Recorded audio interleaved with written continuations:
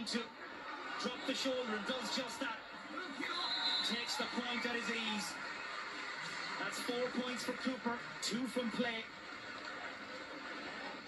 And it's almost uh, the perfect build-up and the perfect finish. Yeah, a little bit too easy again, but uh, Gooch got on, on the inside of uh, of his marker, Declan Riley, there, and uh, pops it over the bar. I think that was a, a, an open-handed uh, point, which